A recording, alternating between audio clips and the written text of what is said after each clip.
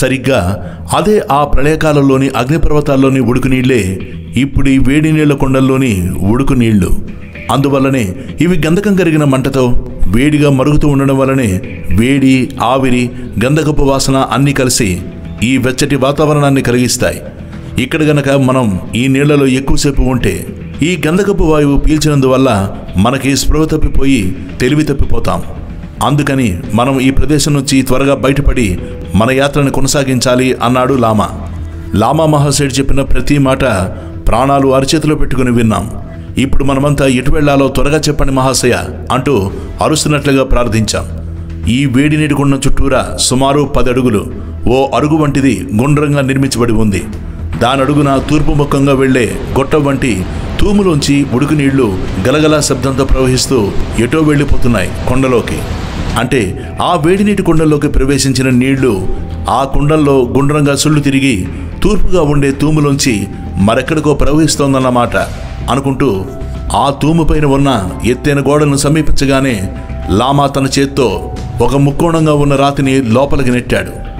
అది ఒక calling bell switch లాగా లోపలికి వెళ్ళి ఓ బరువైన పెద్ద రాతిగోడ ద్వారం తెరుచుకుంది.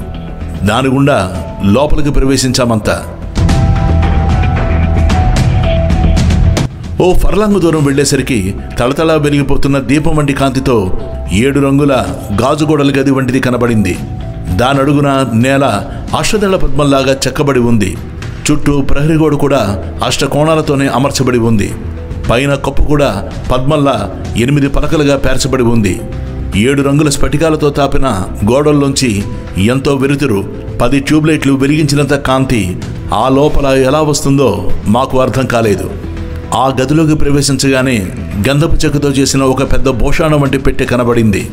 లామా మహాశయుడు ఏనుగు తొండల్లో ఉన్న దాని గడియను గట్టిగా పైకెత్తాడు. గరగరమనే పెద్ద శబ్దంతో ఆ భూషాణ మూత తెరుచుకుంది. అది చాలా బరువు ఉండడం వల్ల మేం మరి నలుగురం అరచేతులతో బలంగా దట్టించి పైకెత్తితేనే అది తెరుచుకోలేదు. ఆశ్చర్యం. ఆ భూషణ నిండా రంగురంగుల సిలుకు గుడ్డల్లో చుట్టిన దసరాల వంటివి కనిపించాయి. అవేమిటో లామా హుసైన్ని అడుగుదామనుకుంటుండగానే ఆయనే ఆ కట్టెలలో పైదాన్ని తీసి మాకు చూపించాడు. అందరం ఆశ్చర్యపోయాం. అవి ప్రాచీన తాళపత్ర గ్రంథాలు. ఆశ్చర్యంగా లామాదూర్జీ చౌగ్యార్ వైపు చూసాం ప్రశ్నార్థకంగా. ఇదేమిటని ఆశ్చర్యపోతున్నారు కదా? ఇందులో ప్రపంచ చరిత్ర అంతా ఇప్పటిదాకా జరిగింది. ఈ తాళపత్రాలపైన స్ఫటిక పర్వతం నిర్మించిన మహర్షుల చేత అతి పురాతన పురాణ సంహిత అనే గ్రంథంగా రాయబడి ఉన్నది. ఇది వేదాల కంటే బహు పురాతనమైనది మానవజాతి పుట్టకముందు కాలంలోని ఈ భూగోళం మీద జరిగిన కథంతా రాయబడి ఉంది. నేను ఇదివరకు మీకు చెప్పలేదు. అంతరిక్షంలోంచి భూగోళం మీదకి విమానాల్లో వచ్చిన ప్రజాపతుల వల్ల మానవ సృష్టి ఎలా ప్రారంభించబడిందో దాన్ని ఇంకా వివరంగా పూర్తి సైన్స్ వివరాలతో ఈ గ్రంథాలలో రాయబడి ఉన్నాయి. అలాంటివి పద్దెనిమిది సంపుటాలుగా సృష్టి ప్రారంభం నుంచి ఇప్పటిదాకా జరిగిన చరిత్ర యావత్తు ఎలా జరిగిందో అలా రికార్డు చేయబడి ఉంది ఈ గ్రంథాలలో. కుడి చేతి వైపుగా ఉన్న ఈ తాళపత్ర గ్రంథాల్లో రాగల భవిష్యత్తు మొత్తం ఎప్పుడెప్పుడు ఏం జరగబోతోందో అంతా కాలజ్ఞానంలా దివ్య దృష్టితో చూసిన భవిష్యత్ అంతా ఉంది అన్నాడు లామా మహాశయుడు ఇది రెండు భాగాలుగా రాయబడి ఉంది. అందులో మొదటి భాగం ఈ కలియుగ ప్రారంభం నుంచి అంటే శ్రీకృష్ణుడు అవతారం చాలించినప్పటి నుంచి మొదలై ఈ ఇరవై ఒకటో శతాబ్దం చివరి వరకు రాయబడి ఉన్నది. ఇదంతా గత చరిత్ర కిందే లెక్క. మహర్షుల దృష్టిలో. ఇక రెండో భాగంలో మిగతా ఐదు తాళపత్ర గ్రంథాల్లోనూ ఐదు వేల సంవత్సరాల్లోనూ జరగబోయే భవిష్యత్ అంతా కూడా విశదంగా రాసుంది. దీనిని సంహిత అంటారు. అంటే కూర్చబడినది అని అర్థం. ఈ సంహితల్లో మొదటి భాగంలో దేశాలు దేశాల భవిష్యత్తు ప్రపంచ యుద్ధాలు కరువులు కాటకాలు జననష్టం తోకచుక్కలు భూకంపాలు మహాత్ముల అవతారాల వంటివన్నీ ప్రపంచం మొత్తానికి సంబంధించినవి ఉంటాయి. ఇక ఈ రెండవ గ్రంథంలో ముఖ్యమైంది జాతక కొండ అంటే నాడి గ్రంథం వంటిది. ఇందులో ఈ కలియుగంలో పుట్టబోయే జీవుల జాతకాలు వాటి పేర్లు నక్షత్రాలు తల్లిదండ్రుల పేర్ల దగ్గర నుంచి మూడు జన్మల వరకు రాబోయే తరాల వారి జాతకాల భవిష్యత్ అన్నీ రాయబడి ఉంటాయి. ఇవే నాడీ గ్రంథాలంటే. గురుదేవా ఈ గ్రంథాలను చూస్తే అడుగున్నర మందమే ఉన్నాయి కదా? అంటే కొన్ని వందల పేజీలో వేల పేజీల్లో ఉండవచ్చు. మరి ప్రపంచంలో పుట్టే జనాల సంఖ్య కోట్లలోనో లేక వేల కోట్లలోనో ఉంటుంది కదా? అంతమంది జాతకాలు. ఈ కాస్త గ్రంథంలోని రాసిపెట్టడం ఎలా సాధ్యం? అంటూ తన అనుమానాన్ని వెలుబుచ్చాడు ఖగోళ పరిశోధకుడు ఔస్పెన్స్కి. ఇందులో ఎవరి జాతకాలు ఉంటాయంటే ఎవరికైతే భక్తి విశ్వాసాలు దైవచింతన పాపభీతి కలిగి దేవుళ్ళు దేవతలు ఋషులు ధర్మం పాపం పుణ్యం అన్న విషయాల మీద నమ్మకం ఉండి నైతికమైన నడక ఉంటాయో అలాంటి వారి జాతకాలు మాత్రమే ఇందులో ఉంటాయి. ఇప్పటికే ఇందులోనే వెయ్యి దాకా గ్రంథాలు మన దేశంలో అనేక రాష్ట్రాల్లోకి తరలి వెళ్ళిపోయాయి. ఇహ ఇక్కడ ఈ హిమాలయ పర్వతాల్లోకి రాగల పుణ్యజీవుల జాతకాలు మాత్రమే ఇక్కడ మిగిలి ఉంటాయి. ప్రతి మనిషికి కుడి చేతికి బొట్టన వేలు ముద్ర ఉంటుంది. అందులో తల వెంట్రుకలు వంటి సన్నని రేఖలుంటాయి. ఆ రేఖల్ని లెక్కించి చూస్తే వారి జీవిత రహస్యాలన్నీ అందులోనే ఉంటాయి. అంటే చేతిరేఖల సంఖ్యను అరవైతో భాగిస్తే ప్రభావం నుంచి అరవై ఏళ్ళలో వీడు పుట్టిన సంవత్సరం వస్తుంది. అదే ఇరవై నాలుగు గంటలతో భాగిస్తే జననకాల గడియ పన్నెండుతో నెల ఇరవై ఏడుతో నక్షత్రము వస్తాయి. వారు వేలిముద్ర తీసి లెక్కించే సమయానికి లగ్నం గడితే వారి జన్మలగ్నం వస్తుంది. జీవితం గురించి ప్రశ్నించే జాతకం తీసే సమయానికి ఆ రోజున ఉన్న సమయానికి ఉన్న గోచారం తీసి ఫలితాలను తీసి దానిని బట్టి సమీప భవిష్యత్తు రాసి ఉంటుంది అంటే ఆధ్యాత్మిక జ్ఞానానికే జన్మభూమి వంటిది ఈ శంబల. ఈ రహస్య తాళపత్ర గ్రంథాలలో భూమి మీద పుట్టే ప్రతి వాడి జాతకాలు భూమి మీదకు వచ్చే అవతారాల వంటివి అందరి విషయాలు కూడా రాయబడి ఉంటాయా? అడిగాడు నికోలస్ లోరిచ్ ఆ గ్రంథాలు రాసిన వారు సిద్ధపురుషులు. ఏవైతే దేవరహస్యాలు బ్రహ్మజ్ఞాన రహస్యాలు స్వార్థపరుల చేతిలో పడకూడదని ఆధ్యాత్మిక రహస్యాలు ఏమి ఉంటాయో అవి రాసిపెట్టిన గ్రంథాల వంక వారు తీవ్రంగా ఒక టార్చ్ దృష్టితో చూస్తారు. మరుక్షణమే ఆ గ్రంథం మాయమైపోయి హారతి కర్పూరంలా గాలిలో హరించుకుపోతుంది. దానికి సరిగ్గా ఎవరికి లభించాలో వాళ్ళు లభించే టైంకు వాళ్ళు అక్కడ ఉన్నప్పుడే అవి నీటి ఆవిరి నుంచి వడగండ్లు గడ్డకట్టినట్లుగా ఈ రహస్య గ్రంథాలు సాక్షాత్కరించి ప్రత్యక్షమే కనిపిస్తాయి. ఇక ఇక్కడ ఎక్కువసేపు ఉండవద్దు. ఇక్కడికి దగ్గరలోనే ఒక చిన్న బౌద్ధ దేవాలయం ఉంది. అక్కడ తెల్లవారుజామున సుప్రభాత పూజ కావస్తుంది. మీరు గనక చురుగ్గా నడిస్తే మీ కడుపులోని ఆకలి తీరే ప్రసాదం లభించవచ్చు అన్నాడు లామా మహాశయుడు. మంచి ఆకలి మీద ఉన్న మాకు మరో ఆహ్వానం అక్కర లేకుండానే ఆ తాళపత్రాల భోషాను మూసేసి మోకాళ్ళ మీద వంగి నమస్కారం చేసి పరుగులాంటి నడకతో ప్రసాదం కోసం పరిగెత్తాం.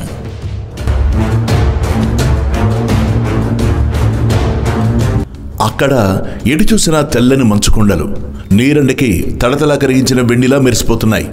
కళ్ళు జిగేలిమనేలా సూర్యుడి కిరణాలు కళ్ళలోకి పొడిచేలాగా ప్రతిఫలిస్తూ మంచురాళ్ళు అక్కడక్కడ స్ఫటికాలాగా మెరుస్తున్నాయి. దుమ్ము లేని ఈ హిమాలయ పర్వతాల్లోని నిర్మల వాతావరణంలో ఎంత దూరం నుంచి చూసినా శిఖరాలు లోయలు స్పష్టంగా కనుచూపు మేరకు కనబడుతున్నాయి. ఎండలో తెల్లగా మెరిసే ఆ నిర్జన మంచు మైదానంలో వెండిపల్లెల్లో పొదిగిన నీలం కెంపులాగా నిర్మలమైన నీళ్ళతో ఉన్న మానస సరస్సు దూరంగా మెరుస్తోంది. నీలంగా. నీలి నీడలున్న ఆ సరస్సులోంచి అడుగున నేలంతా కనబడుతోంది. ఆ వాతావరణమంతా ఎటు చూసినా ఒక స్వచ్ఛత నిర్మలత నిశ్శబ్దత ప్రశాంతి గూడు కట్టుకుని రాజ్యం చేస్తోంది. చుట్టూరా కనుచూపు మేర వరకు ఎక్కడ మనుష్య సంచారం అనేది కనబడని మంచు ఎడారి. ప్రకృతి అంతా నిర్మలమై ఒక అగాధమైన నిశ్శబ్దంలో మునిగి యోగ నిద్రలో జోగుతున్న యోగి మనస్సులాగా కాలం ఆగినట్టుగా ఉన్నది ఆ నిశ్చల దృశ్యం చూస్తుంటే. ఆ తెల్లటి మంచులోయ మీదుగా చూస్తూ ఒక కొండ గుహ లోపల బయట అంతా మంచుతో పోతలా పూయబడి ఉంది. ఆ గుహలోంచి నీలాకాశంలోకి చేరిన సొరంగంలాగా కోలగా మంచు పర్వత మధ్యలోంచి తొలిచిన ఒక ద్వారం. ఆ ద్వారం గుండా కనబడుతున్నది బయటి నీలాకాశంలో తవ్విన నీలపు సొరంగంలాగా. గుహపై నుంచి నీటి బొట్లు చుక్కలు చుక్కలుగా రాలుతూ అవి మంచుకరలాగా అయిపోయి పైన చాందినలకు కట్టిన ముత్యాల్లాగా మణుల్లాగా మెరుస్తున్నాయి. అలా డజనుకు పైగా గుహపై నుండి వేలాడుతున్న నీటి బిందువులే వజ్రాల్లాగా తళ్ళుకుమంటున్నాయి అక్కడ సరస్సులు కూడా చలికి పేరుకుపోయినట్టుగా గడ్డగట్టుకుపోయాయి. జలపాతాలు పైనుంచి పడుతున్నవి అలానే గడ్డగట్టుకుపోయి ఘనీభవించాయి. అక్కడక్కడ కొన్ని గుహలు వాటి మధ్యన ఆశ్రమ కుటీరాలు. కుటీరాలకు మధ్యగా నిలిచిన గోపురంపై గాలికి రపరపలాడే నారింజ రంగు జెండాలు. ఆరు బయట మంచుపైన కూర్చుని ధ్యానిస్తున్న ఆజానుబాహులైన మునులు. నిరంతర ధ్యాన సమాధిలో మునిగిపోయి ఉండి ఊపిరి పీల్చడం కూడా ఏనాడో మరిచిపోయి అంతటి గాఢ తపస్సులో ఉన్నారు. వారిలో కొందరు తెల్లని జడలు కట్టి కనుబొమ్మలు కూడా తెల్లగా నెరిసిన మహామునులు. అలా వేల ఏళ్ళ సంవత్సరాల నుంచి తపస్సు చేస్తున్నవారు. అందులో కొందరు వెయ్యేళ్ళ వాళ్ళు ఉన్నారు. ఐదారు వేల సంవత్సరాల వాళ్ళు కూడా ఉన్నారు. వారిలో కొందరికి వెయ్యి రెండు వేల ఏండ్లు. మరికొందరికి ఎన్నేళ్ళో కూడా ఎవరికీ తెలియదు. అలా నిరంతర తపస్సులో ఎన్ని యుగాల నుంచో ఉన్నారు. అందులో ఒక ఆయన మహా అవతార్ బాబాజీ. ఈయనకు ఐదు వేల ఏళ్ళుంటాయి. అలా కాలాన్ని వయస్సుని మరిచిపోయి నిరంతర తపస్సులో ఉన్నవారు ఎందరో. ఇది సిద్ధుల తపోభూమైన శ్వేతద్వీపం.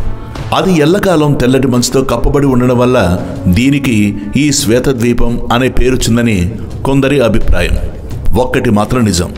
ఇది ఈ భూమి మీద ఈ ప్రపంచానికంతటికీ పవిత్ర ప్రదేశం. మానవజాతికే పరిశుద్ధమైన ఆత్మ వంటి స్థానం. ప్రపంచంలో జరిగే సంఘటనలన్నింటినీ ఇక్కడి నుంచే దివ్య దృష్టితో దర్శిస్తూ వారి తీవ్ర తపస్సుతో మనసులతో జరుగుతున్న సంఘటనలు తీర్చిదిద్దుతూ మానవ పరిణామాన్ని నడిపిస్తూ ప్రేమతో ప్రపంచాన్ని పరిపాలించే అంతరంగ పరిపాలనా కేంద్రం. ఇదే ప్రపంచానికందరికీ ఆధ్యాత్మిక కేంద్రం. అందుకే ఇది సృష్టాది నుంచి భూమి మీద లోకగురువుల నివాస భూమి జగత్తుకే ఆధ్యాత్మిక కేంద్రం. ఇలా లోపల నుంచి మానవజాతిని పరిపాలించే పరమగురువుల ఆధ్యాత్మిక పరిపాలనా కేంద్రం లోకపాలకులైన పరమ ఋషి మండలి యొక్క నివాస భూమి. ఇదే శ్వేతద్వీపం. ప్రపంచంలో ధర్మరక్షణ దుర్మార్గుల శిక్షకు ఆధ్యాత్మిక శక్తి ఎక్కడ అవసరం వచ్చినా అక్కడ ఆ దేశాలలో జన్మించే జగద్గురువులు అవతారమూర్తులు ప్రవక్తలు. అంతా ఇక్కడి నుంచే పంపబడతారు.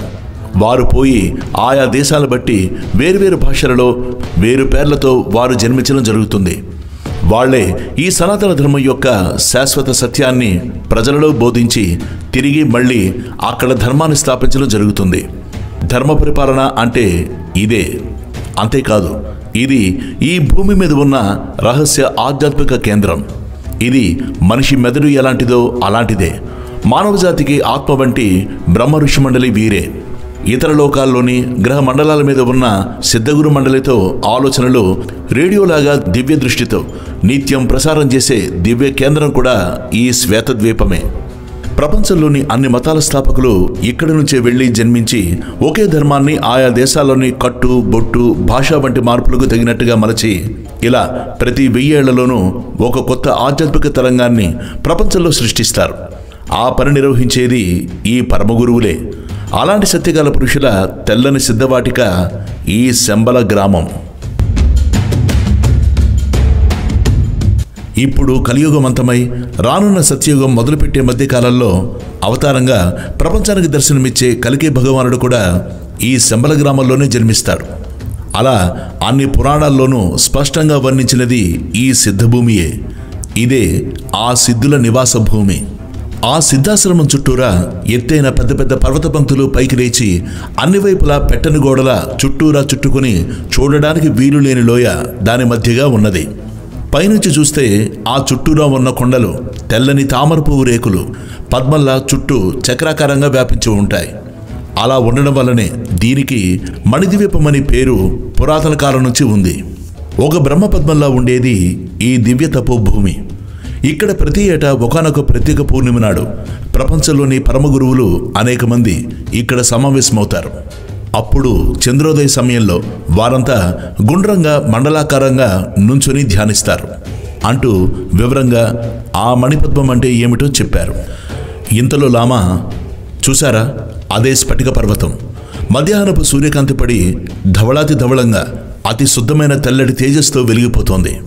అదే మీరు వెతుకుతున్న స్ఫటిక పర్వతం. చూసారా కన్నులారా వీక్షించండి. జీవితమంతా మనం చూడాలి అని కలల కన్నా మనందరి కలల పంట.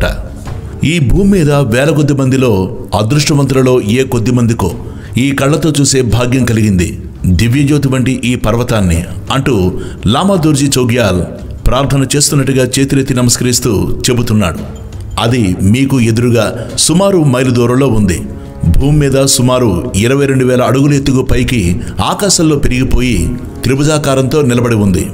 ఇది మీ కంటికి ముక్కోణాకారంలో కనిపిస్తున్నదే గాని నిజానికి ఒక నలుపలకల చదరపు పీఠం పైన నిర్మాణం చేయబడినట్లు నాలుగు పలకల నాలుగు త్రిభుజాలు అతికించినట్లు. త్రిభుజాలు నాలుగు దిక్కులకు తిరిగి ఉండి ఒక పిరమిడ్ ఆకారంతో ఆకాశంలోకి చొచ్చుకుపోతూ మహాగంభీరంగా దర్శనమిస్తోంది. అది చూసిన మాకు ఒక్కసారిగా ఒళ్ళు జల్లుమంది. ఏదో వెయ్యి కిలోవాట్ల కరెంటు వంటి శక్తి వరదలాగా మా గుండెల్లోకి మెదడులోకి నరాల గుండా ప్రవహించినట్లుగా పులకింతలు కలిగాయి. మాలో ప్రతి ఒక్కరూ అలా నిలబడి ఆ స్ఫటిక పర్వతాన్ని ఎంతసేపు చూశామో మాకే తెలియదు. ఆ పర్వతం యొక్క వివరాలు మా మార్గదర్శకుడు లామాదోజీ చోగ్యాల్ ఇలా తెలిపాడు.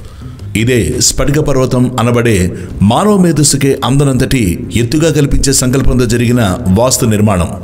అనేక తాంత్రిక గణిత ఖగోళ జ్యోతిష రహస్యాలను కలబోసిన దివ్యజ్ఞాన మందిరం ఇది. ఈ స్ఫటిక పర్వతం నిలబడి ఉన్న నరుచంద్రపు పీఠం నాలుగు వైపులా చుట్టుకొలతలు గనక చూస్తే పదమూడు ఎకరాల విస్తీర్ణంలో కట్టబడిన ఈ స్ఫటిక శిఖరానికి అడుగును ఉన్న అరుగు వంటి వేదిక నూట ఇరవై అడుగులు ఎత్తు. నాలుగు వైపులా సమానంగా అతి తెల్లటి పాలరాయి వంటి దృఢమైన శిలల చేత పునాదిలాగా పీఠంలా కట్టబడి ఉంది. ఆ పీఠంపై నుంచి ఆకాశంలోకి చొచ్చుకుని పోతూ నాలుగు పలకల ముఖాలతో పైకి కోసుగా పెరిగిన శిఖరం చిట్ట చివరగా సూదిలా చెక్కబడిన స్ఫటికం. నవరత్నాల్లోని వజ్రం కంటే తీక్షణమైన తేజస్సుతో కళ్ళు జిగేలుమనేలాగా గడ్డకట్టిన పాదరసం రంగుతో మెరుస్తోంది. అది రసబంధనంతో పాదరసాన్ని స్తంభింపజేసి అలా శిలలాగా త్రిభుజాకారంగా నాలుగు ముఖాలతో ఏర్పాటు చేసిన శిఖరం. స్ఫటిక పర్వతం పైన మండుతున్న వెలుగులా కనిపిస్తోంది. ఓ కార్తీక శిఖర దీపంలా ప్రకాశిస్తూ. నాలుగు దిక్కులకు ఆ నాలుగు ముఖాల పిరమిడ్ వంటి స్ఫటికరాయితో మంచు గడ్డకట్టినట్టు పర్వతంలా ఏటవాలుగా సుమారు రెండు వేల నూట అరవై అడుగులు ఎత్తుంది. దాని నాలుగు ముఖాలు సమానంగా నిర్మాణం చేయబడ్డాయి. అందులోని ఉత్తరముఖం మీద ఏటవాలుగా భూమికి ఇరవై మూడు డిగ్రీల కోణంలో తూర్పు నుంచి పైకి ఎత్తున జాగ్రత్తగా పరిశీలనగా చూస్తే ఒక చిన్న సూదిబెజ్జం వంటి రంధ్రం కనిపించింది. మాలో గణిత శాస్త్రం ఖగోళం జ్యోతిష్యం సైన్సుల్లో సిద్ధహస్తుడు గొప్ప ఆసక్తి గల రష్యన్ పరిశోధకుడు ఆస్పెన్స్కి ఇలా అడిగాడు గురుదేవ లామా మహాశయ ఆ పిరమిడ్ వంటి కట్టడానికి ఉత్తరముఖాన ఉన్న సూదిబెజ్జం వంటి రంధ్రం పెట్టబడి ఉంది కదా? దాని ప్రయోజనం ఏంటి? అన్నాడు. జేబులోంచి తన నోట్బుక్ తీసి వివరాలు నోట్ చేసుకుంటూ చకచక ఆ స్ఫటిక పర్వతం ఆకారాన్ని రేఖాచిత్రంగా వేస్తూ దానికి లామా మహాశయుడు ఔస్పెన్స్కిని ఇలా ప్రశ్నించాడు. అది ఏ ముఖంగా ఉంది? అన్నాడు లామా. అది సరిగ్గా ఉత్తరం వైపు తిరిగి ఉన్నది గురుదేవ అన్నాడు ఔస్పెన్స్కి భూమికి ఎంత ఎత్తులో ఉంది? సరిగ్గా భూమి ఆకాశం కలిసే రేఖకు ఇరవై మూడు డిగ్రీల కోణంలో ఎత్తున ఏర్పడి ఉంది. అన్నాడు ఓస్పెన్స్కి. సరిగ్గా చూడండి. అది ఉత్తరం తూర్పులకు నడి మధ్యన అంటే ఈశాన్య దిక్కుగా భూమి ఆకాశం కలిసే రేఖకు ఇరవై మూడు భాగాల కోణంలో ఎత్తు మీదుగా ఉండే నక్షత్రం ఏది అడిగాడు లామా. హౌస్పెన్స్కి తన జేబులోంచి చిన్న నోట్బుక్ తీసి ఆకాశం మ్యాప్ లాగా చిన్నగా అందులో ప్రింట్ చేసి ఉన్న నక్షత్రాల డిగ్రీల గురించి ఆశ్చర్యపోతూ అన్నాడు అది ధ్రువ నక్షత్రం గురుదేవ. సరిగ్గా అదే ఎత్తున ఈశాన్యంగా అదే కోణంతో ఈ పిరమిడ్ రంధ్రం కూడా విస్తరింపబడి ఉంది. అన్నాడు శ్రీనివాస చక్రవర్తి. దానివల్ల కనిపించే విచిత్రం ఏమిటి? చెప్పండి అన్నాడు లామా. ఈ ధ్రువ నక్షత్రానికి కుడివైపున అంటే తూర్పు దిశగా సప్తమహారుషుల మండలం ఉదయిస్తుంది. అది పల్లకిలాగా అర్ధచంద్రాకారంగా ఆకాశంలో పన్నెండు అడుగుల స్థితికొచ్చి చివరకు వాయువ్యంగా అంటే పడమర ఉత్తరం మధ్యగా అస్తమిస్తుంది.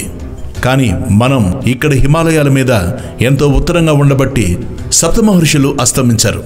పడమర వైపు నుంచి నేల వైపుగా దిగి అర్ధరాత్రంతా నేలజారుగా ప్రయాణించి తిరిగి తూర్పు వైపుకు తిరుగుతూ గుండ్రంగా తూర్పు ఉత్తరం వైపున ఈశాన్యంగా ఇరుసులా తిరుగుతుంది. అప్పుడు లామా ఇలా అన్నాడు అసలు సప్తమహర్షి మండలం అంటే ఏమిటి? నాకున్న పరిజ్ఞానంతో ఆలోచిస్తే ఈ స్ఫటికంతో నిర్మాణం కాబడ్డ పిరమిడ్ ఇరవై ఆరు వేల సంవత్సరాలకి ఒక్కసారి ఈ రాశిచక్రం దాటి ఐనాంశాల గతిలో కొలతలు నమోదు చేసిన జ్యోతిష యంత్రంగా. ఇది ఎవరో మహానుభావులు అసాధ్యమైన ఖగోళ జ్యోతిష పరిజ్ఞానం కలిగిన వారు.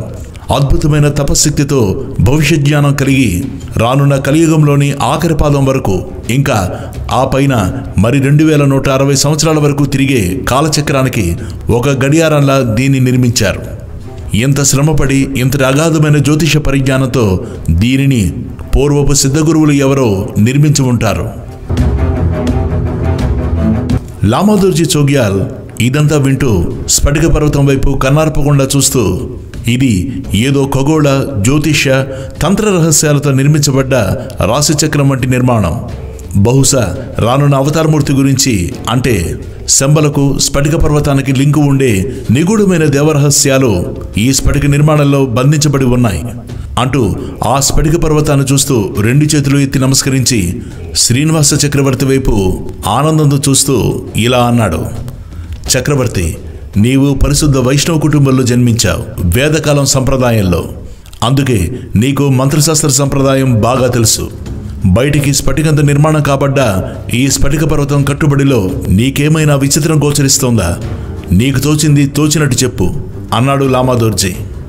గురుదేవ ఇది జ్యోతిష ఖగోళ తాంత్రిక రహస్యాలతో నిర్మాణం కాబడి ఉన్న కట్టడంలా నాకు తోస్తోంది. మా బ్రాహ్మణుడు నిత్యం పూజిస్తారే శ్రీచక్రం. అది ముఖ్యంగా రెండు రకాలు. ఒకటి త్రికోణాకారం కలిగిన గీతలతో త్రిభుజాకారంగా చిత్రించబడి ఉండేది శ్రీచక్రం అనే యంత్రం. ఈ శ్రీచక్రంలో కొన్ని త్రిభుజాలు తలకిందులుగాను మరికొన్ని త్రిభుజాలు నిలువుగాను నిలబడి ఉంటాయి. అలాంటి ప్లాన్ తీసుకుని స్ఫటిక శిలతో తలకిందులుగా నిలబెట్టిన త్రికోణపు శిలలు నాలుగు దిక్కులా కలిసిన పిరమిడ్ల వంటి కట్టడాలు ఒకదానిపై ఒకటి పేర్చి రెండు రకాలుగా కట్టారు. అలానే నిటారుగా నిలబడి ఉన్న త్రికోణాకారంగా ఉన్న నాలుగు ముఖాలతో నిలబడి పిరమిడ్లాకారంలో కొన్ని పలకలు ఒకదానిపై ఒకటి నిలబెట్టి ఉన్నాయి. దానివల్ల ప్రతి పిరమిడ్ వంటి ఆకృతి మెట్లు మెట్లుగా అంటే మా వైష్ణవ ఆగమ శాస్త్రంలో దేవాలయం యొక్క విమానంలాగా కట్టబడి ఉన్నది ఈ మందిరం. సరిగ్గా ఇలాంటి కొరతలే కలిగి ఉన్న ఈ పిరమిడ్లకు నాలుగు దిక్కులకు రకరకాల దేవతాల శిల్పాలు అంటిస్తే అది సరిగ్గా మా దక్షిణ భారతదేశంలోని తిరుమల పుణ్యక్షేత్రంలో వెంకటేశ్వరుడి దేవాలయం పైన ఉండే ఆలయ విమాన శిఖరంలా కనిపిస్తుంది. అది తిరుమల వెంకటేశ్వర ఆలయ విమానపు గోపురం శిఖరంలా ఉంది. మా పూర్వీకులు చెప్పిన దేవాలయ గోపురాల నిర్మాణం నుంచే ఈజిప్ట్లోని పిరమిడ్ల నిర్మాణం కూడా జరిగిందని అది ఇప్పటికీ ఇన్నాళ్ళకు కళ్ళ ముందుకొచ్చింది. ఆశ్చర్యకరమైన ఈ స్ఫటిక పర్వత రూపంలో. గురుదేవ నాకింకో ఆశ్చర్యం కలిగించే రహస్యం కూడా తట్టింది దైవికంగా. అదేమిటంటే మనం ఈ స్ఫటిక పర్వతాన్ని చేరుకునే ముందు నదికి అడుగున భూమిలోంచి సొరంగ మార్గంలో ప్రయాణించాం కదా. ఆ సొరంగ మార్గంలో మనకి కుడివైపున భూమి స్పర్శ ముద్రపట్టిన రూపంతో ఉన్న భవిష్యత్తులో అవతరించే బుద్ధ విగ్రహం చూశాం. ఆయన సరిగ్గా ఆ మైత్రేయ బుద్ధుడు భూమిని చూపే మార్గంలో ఏదో రహస్య మార్గాన్ని చూపిస్తూ ఉండేలాగా హస్తం ఉంది కదా. సరిగ్గా అలాగే నేనిప్పుడు చెప్పిన తిరుమల క్షేత్రంలోని ఆ ఏడుకొండలవాడి విగ్రహం కూడా ఒక చేతిని కిందకు చూపిస్తూ ఉంటుంది. భూమి స్పర్శ ముద్రలో తిరుమల క్షేత్రంలోని దేవరహస్యాలు తెలిసిన పండితులు చెప్పగా విన్నాను. శ్రీ వెంకటేశ్వర స్వామి ఈ హస్తం ఆయన పాదాల కింద అడుగున రహస్య బిలం ఏర్పడి ఉన్న ఓ సొరంగ మార్గాన్ని చూపిస్తుందని.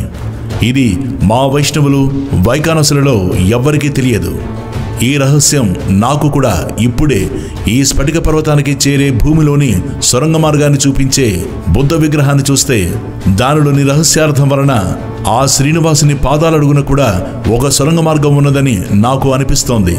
అంటూ ఆశ్చర్యంగా చెప్పాడు శ్రీనివాస చక్రవర్తి.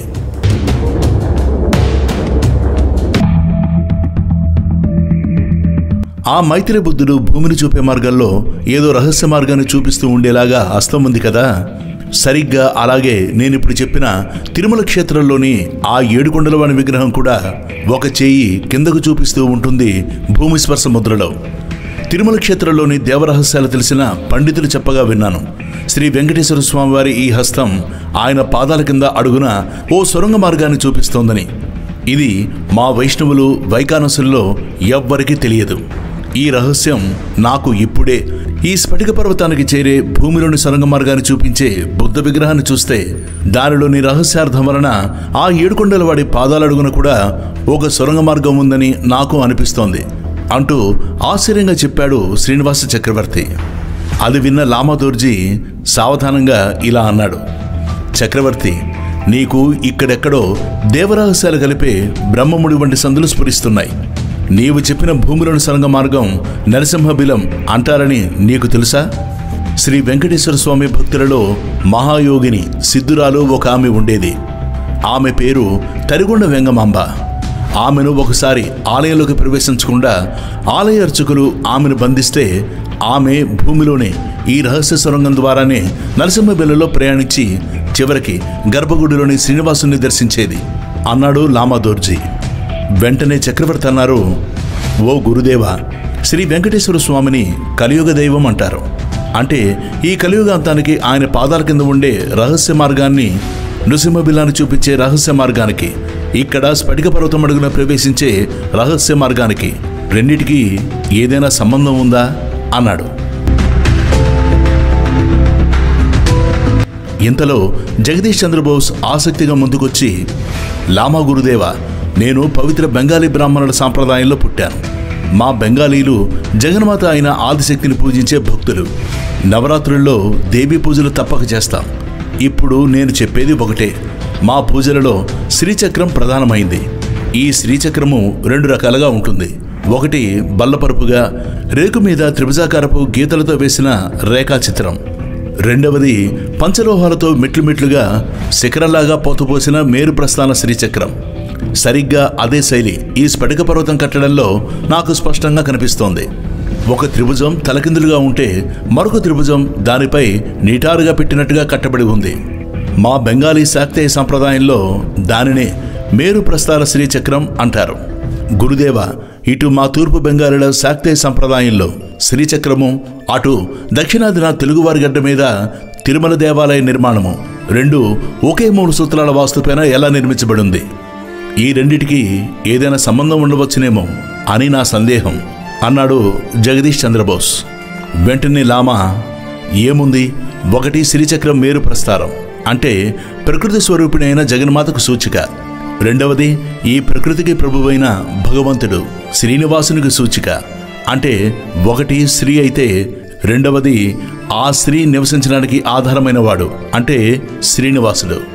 ఈ సృష్టికి ఆధారమైన శక్తికి శరణ్యమైన భగవంతుడు. మరి ప్రకృతికి పురుషునికి సంబంధం లేకుండా ఈ సృష్టి ఎలా ఉంటుంది? ఒకటి స్త్రీ అయితే రెండవది ఆమెకు నివాసులు. తెలిసిందా? అన్నాడు లామాదోర్జీ చోగ్యాల్. స్ఫటిక పర్వతం చుట్టూరా ప్రదక్షిణంగా చేతులు జోడించి నమస్కారంతో తిరిగాం. ఆ వెలుగుకు తీవ్రమైన దాని శక్తి తరంగాలకు మా కళ్ళు జిగేలమంటూ సూర్యబింబం చుట్టూరా కనిపించే ఒక వెలుగులాగా ఒక వెండి దూది వంటి తేజస్సులో కనిపించగానే మా మనస్సులు శరీరాలు ఈ ప్రపంచంలో లేనట్టు ఏదో స్వప్నలోకాల్లో తేలిపోతున్నట్టు ఫీల్ అయ్యాం. అలా పదమూడు ఎకరాల వైశాల్యం గల ఆ స్ఫటిక మందిరం చుట్టూ ప్రదక్షిణంగా తిరగడానికి మాకు కొన్ని గంటల సమయం పట్టింది. దాంతో బాగా అలసిపోయాం. మాలో అందరికీ దిగచమటలు పోసి బట్టలన్నీ తడిసిపోయాయి. మేమంతా చల్లటి మంచుకొండలైన హిమాలయ శిఖరాలపైన ఉన్నామన్న విషయం కూడా ఆ సమయంలో మాకు గుర్తుకు రాలేదు. అలా ప్రదక్షిణ పూర్తయి మేమంతా దాని ఉత్తరపు దిక్కున ఏటవాలుగా ఉన్న కొండచెరి వైపు రాగానే ఈ స్ఫటిక పర్వతం లోపలికి పెడితే ఏముంటుంది గురుదేవా? ఈ స్ఫటిక లోపల నిర్మాణం కాబడ్డ వాస్తు చిత్రాలు గణిత ఖగోళ జ్యోతిష అద్భుతాలు ఇంకా ఎన్నో ఉంటాయని నాకు గట్టిగా అనిపిస్తోంది. అన్నాడు.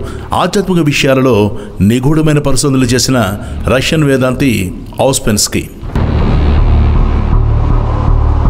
దారిలోకి ప్రవేశించడానికి ఎటువైపున ద్వారం లాంటిది ఆ నాలుగు దిక్కుల్లో ఎక్కడా కనిపించలేదు.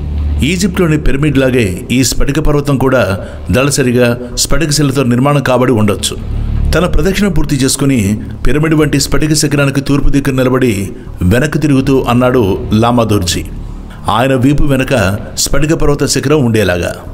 అది ఇంక మాకందరం వెనక తిరిగే సూచనగా భావించి ఆయన వెనకే మేమంతా బారుగా లైన్ కట్టి నిలబడి నడవసాగాం.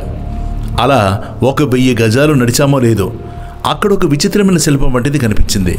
దాన్ని జాగ్రత్తగా పరిశీలిస్తే అది ఒక సింహం ఆకారంలో ఉండే శరీరము మనిషి ఆకారంలో ఉన్న తల కలిసి ఏర్పడి ఉన్నాయి. రెండు భుజాలకు గరుడు పక్షి రెక్కల వలె రెండు రెక్కలు ఎగురుతున్నట్టుగా తెరుచుకొని దాని కళ్ళు అరమోడ్చి ధ్యాన ముద్రలో ఉన్నాయి. మనిషి ముఖం ఉన్న గరుత్మతుల ముక్కులాగా కోసుగా వంపు తేలి పొడవుగా ఎండుమిరపకాయ తొడుములాగా ఉన్నది దాని ముక్కు.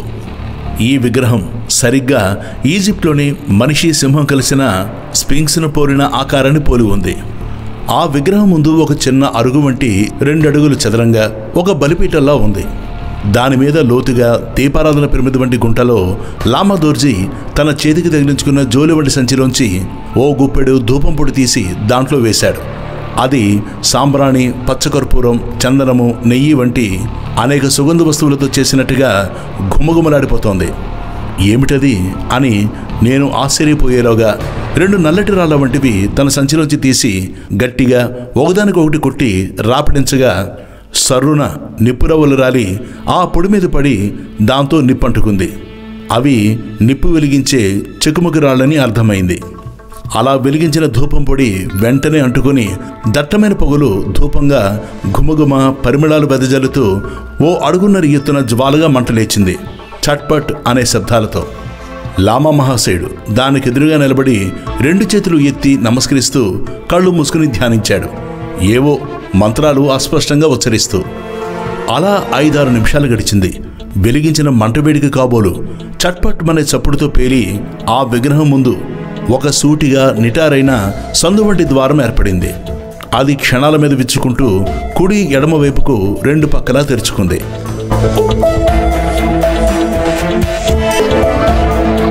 ఈ క్రింద నుంచే ఒక రహస్య ద్వారం భూమి లోపలికి తెరుచుకుంటుంది.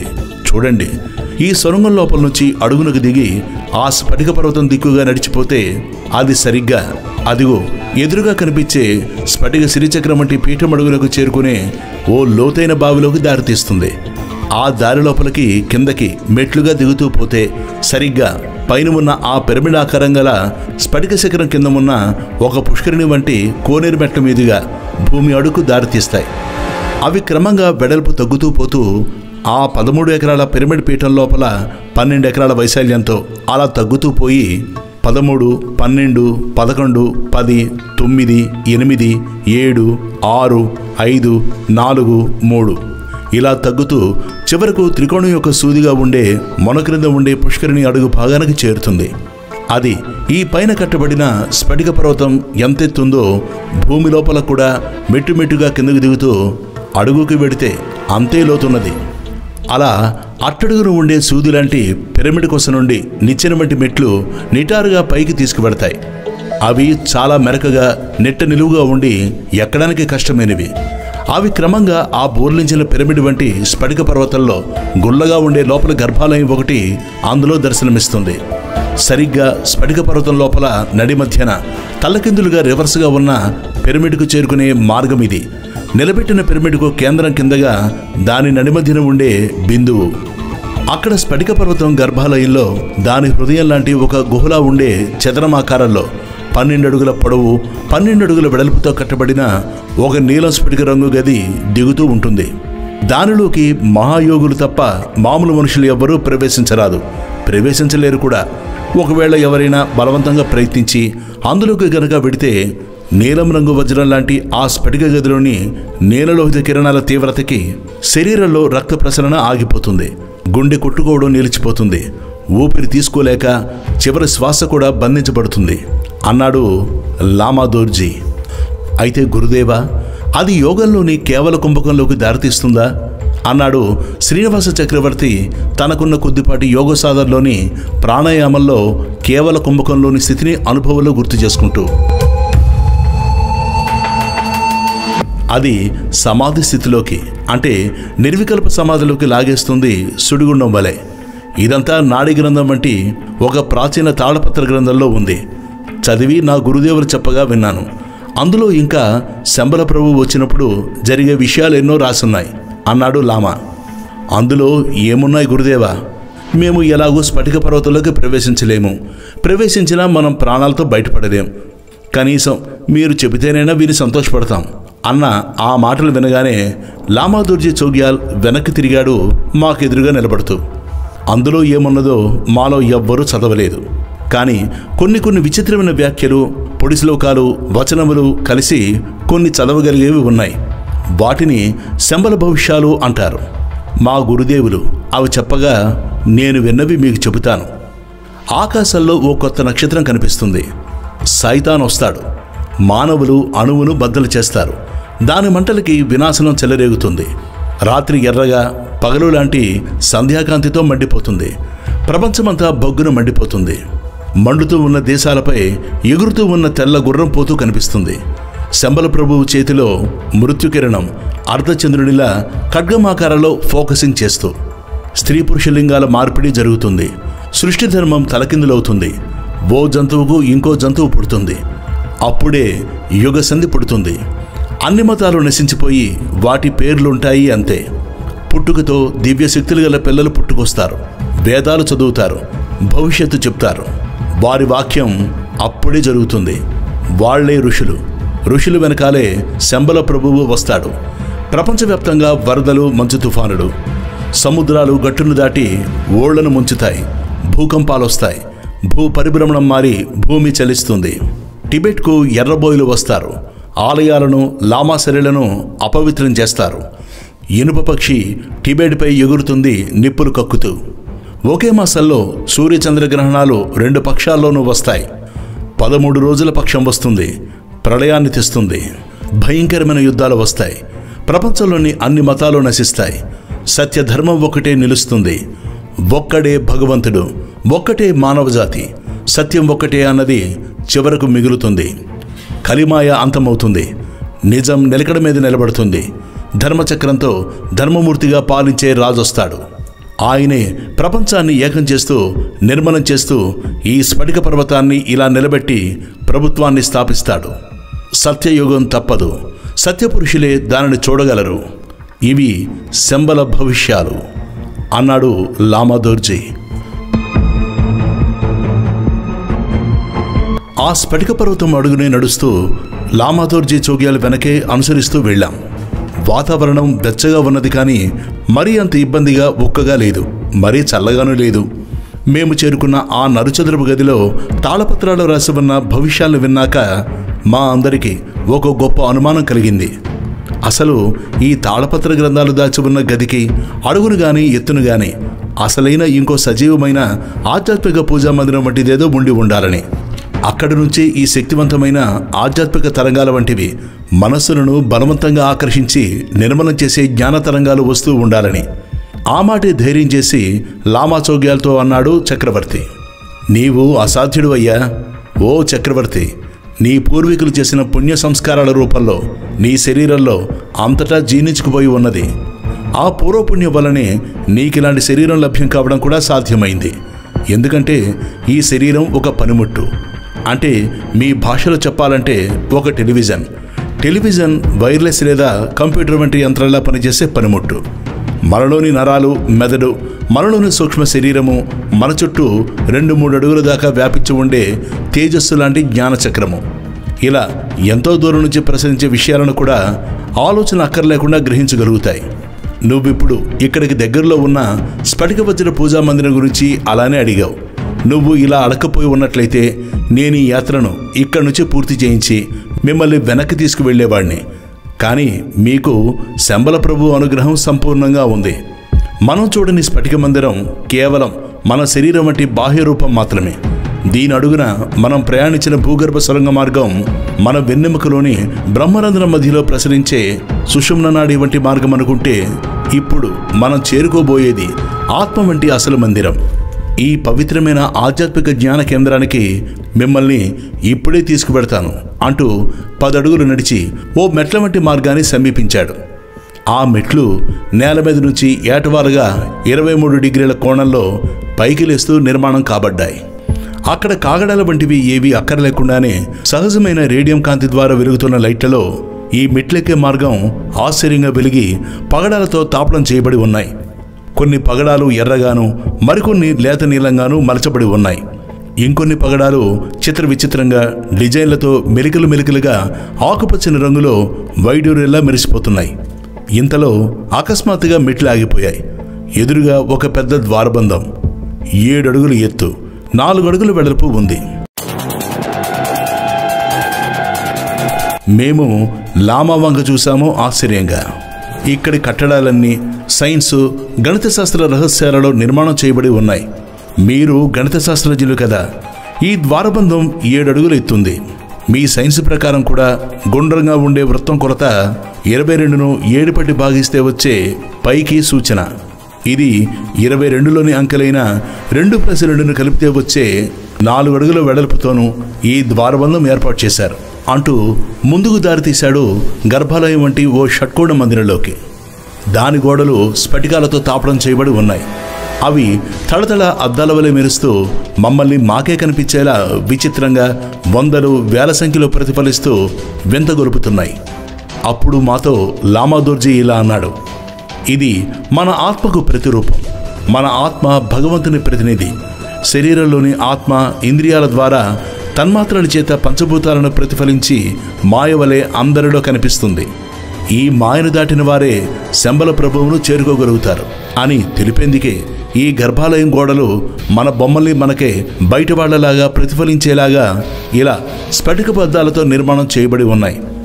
మీరు గమనించారా లేదో ఈ స్ఫటికద్దాలు తెలుపు రంగు కావు.